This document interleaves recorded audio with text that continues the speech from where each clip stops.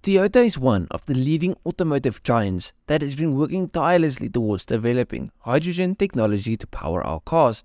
And more than that, they see hydrogen as an energy source that can power our houses and businesses as well.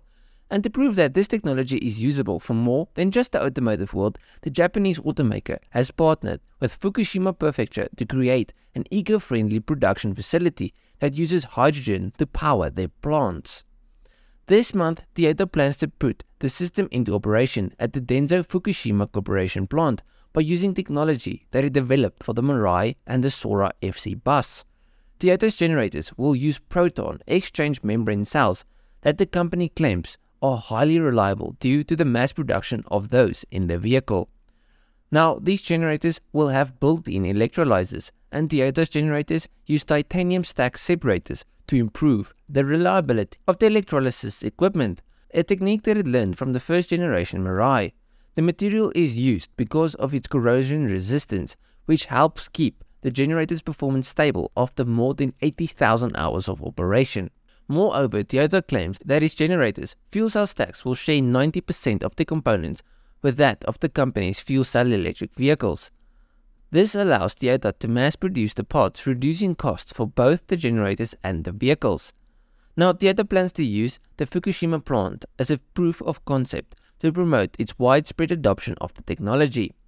And as we all know, Toyota already has a strong belief in hydrogen as the future of the automotive industry.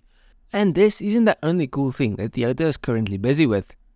You see, Toyota has recently announced that it has run a race car on liquid hydrogen for the first time ever and plans to compete with it in the 2023 season of the Super Taikyu Racing Series.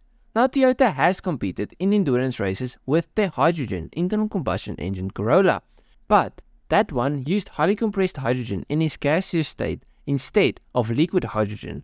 This will be a first. Why are they trying this new approach? Well, the reason the company is focusing on liquid hydrogen is that liquid hydrogen can double the mileage of a car when used in the place of hydrogen in its gaseous state.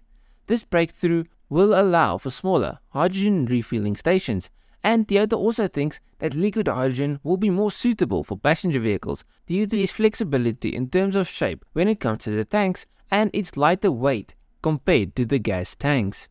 If you would like me to do a full video on this topic, leave a comment and I'll get working on it as soon as possible. Anyways, Back to these hydrogen generators. Toyota isn't the only manufacturer looking into using hydrogen for powering their plants.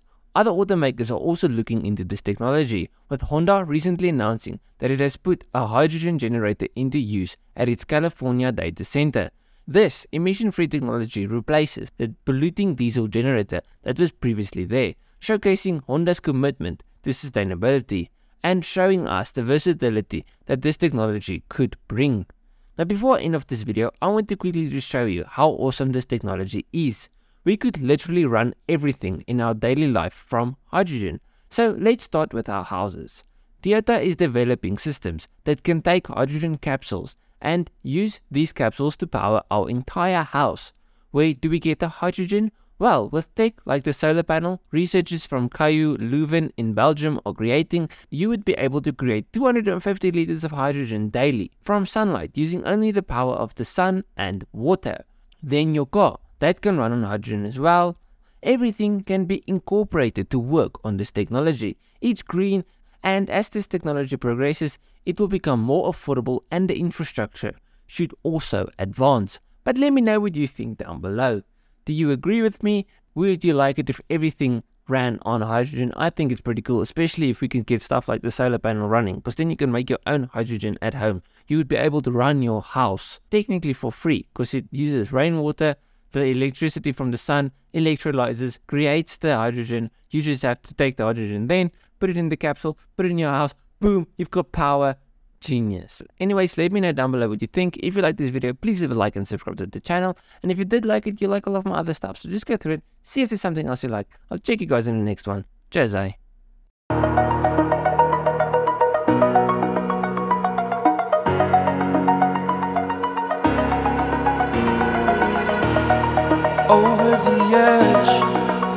Like I'm floating through the air.